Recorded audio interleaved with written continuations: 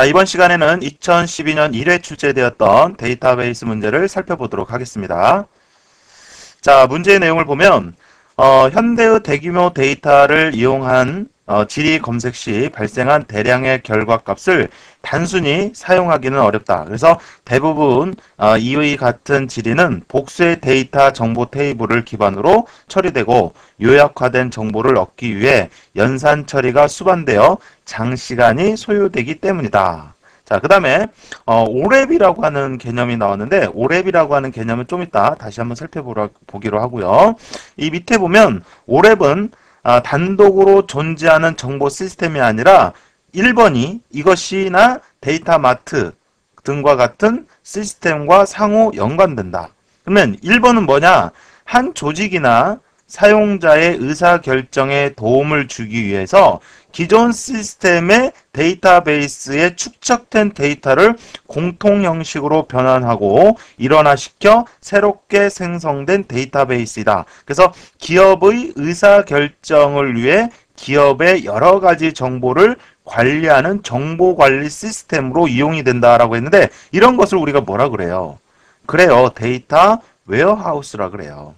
음? 그래서 1번의 답은 data warehouse고요. 그 다음에 여기도 나왔지만 data mart 또는 data mining 이런 것들도 여러분들 같이 언제든지 나올 수가 있거든요. 그러니까 정리를 꼭 한번 해주셔야 됩니다.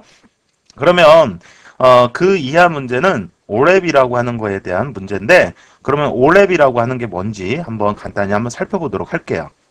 자, OLAP이라고 하는 게 뭔지 OLAP이라고 하는 것은 자 개념을 보면 사용자가 직 직접 데이터베이스를 검색과 분석을 통해 문제점이나 해결책을 찾도록 해주는 분석형 애플리케이션 개념으로 OLAP은 온라인 검색을 지원하는 data warehouse 지원 도구이며 이, 이 같은 대규모 연산이 필요한 질의를 다차원 구조의 분석 기법을 통해 고속으로 지원해 주도록 하는 거다 이거죠. 그러니까 어, 데이터베이스의 여러 테이블에 보면은 각 테이블마다 자료가 있을 것이고 또 그런 것들이 이제 여러 개가 모여 있다 이 말이에요. 그러면 그런 여러 개의 데이터베이스의 내용들을 사용자가 필요할 때 여러 가지 형태로 분석을 하고 할 수 있도록 하는 애플리케이션인데 가령 예를 들어서 테이블이 어 뭐 이렇게 매출이라는 테이블이 가령 있고 그 다음에 지점이라는 테이블이 있고 또 뭐 사원이라는 테이블이 있다라고 했을 때 어? 이렇게 여러 개의 테이블이 있다.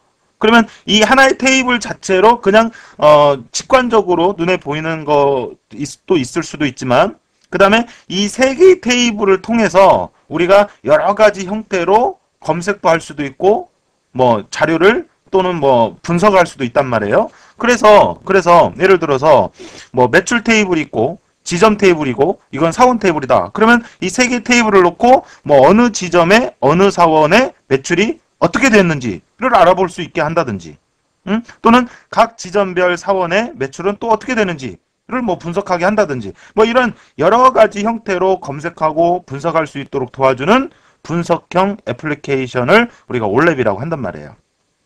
응? 올랩.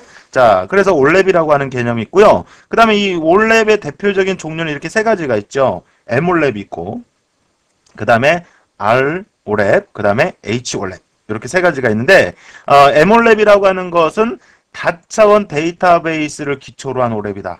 다차원 데이터베이스. 어, 다차원. 그러니까 다차원이라고 그러면은 그 여러 가지 여러 가지 어, 시점에서 분석할 수 있도록 해주는 걸 얘기를 하고요. 그 다음에 이제 ROLAP이라고 하는 거. 요거는 이 R이 relation이거든요. Relation. Relation이 뭐예요? 관계 테이블. 우리 일반적으로 많이 보는 그 관계형 데이터베이스를 얘기를 하거든요. 그래서 관계형 데이터베이스를 기초로 한 OLAP이다. 라고 하는 거. 그 다음에 어, HOLAP이라고 하는 것은 MOLAP과 ROLAP의 장점을 혼용한 방식을 얘기를 한다.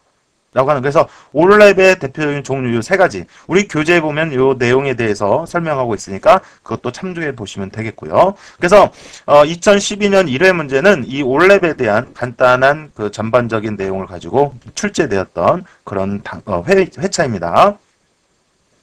자, 그래서 올랩은 사용자가 사용자가 직접 데이터베이스를 검색과 분석을 통해 문제점이나 해결책을, 해결책을 찾아주도록 하는 분석형 애플리케이션 개념으로 그랬네요. 그러니까 어, 이런 것들을 사용자가 직접 내가 사용 데이터베이스에 자료가 있는데 이거를 사용자 보고 직접 SQL문을 이용해서 여러분들이 어, 검색하고자 하는 것을 검색하시오 또는 분석하시오 그러면 쓸 수 있는 사람은 거의 없단 말이에요. 그러니까 그런 검색과 분석을 다차원 방식으로 해서 다양한 시점에서 사용자가 이용할 수 있도록 하는 애플리케이션이다라고 보시면 돼요.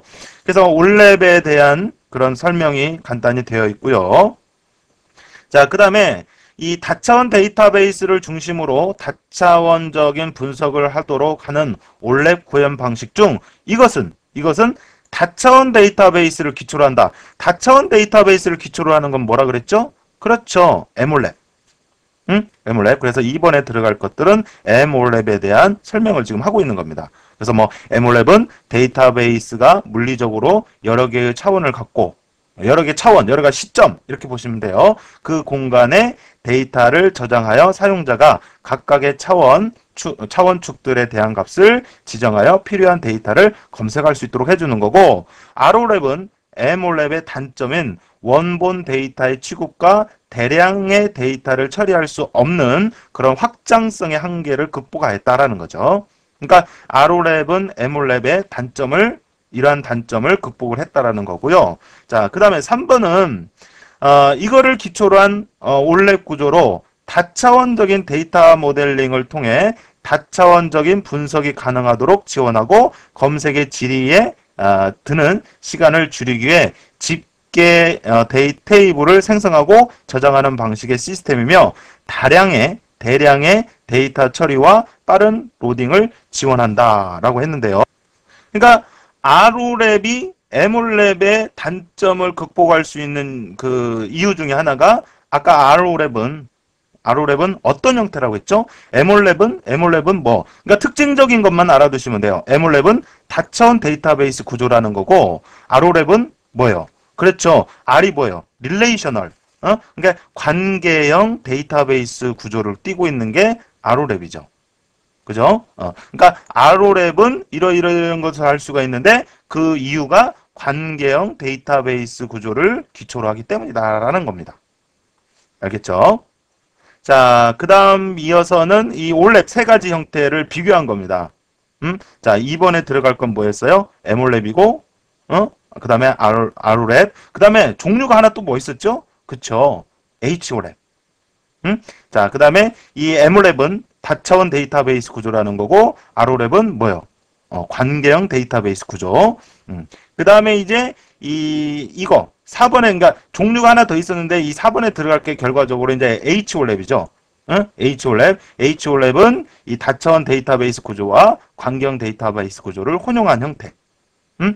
자, 그 다음에 이제 여기 전체적으로 여러분들 여기 보시면 이 올랩 세 가지를 비교한 테이블이니까 이것도 한번 간단히 한번 봐주시면 되겠고요. 자, 그래서 4번은 HOLab이 되겠고, 그 다음에 이제 이해, 이하 뭐 쭉 보시면 5번인데요. 자, 요것은 요것은 n차원 대 n차원은 n차원의 다차원 구조의 튜, 큐브를 말한다.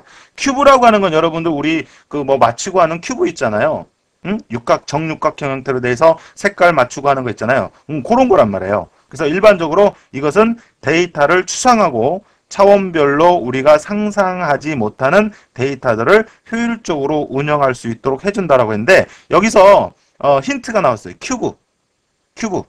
어? 그래서 이 큐브 형태로 해서 보다 다차원 관점에서 데이터를 보다 다양한 형태로 분석하고 할 수 있도록 해주는 거. 이런 거를 우리가 뭐라고 하냐면 데이터 큐브라고 합니다.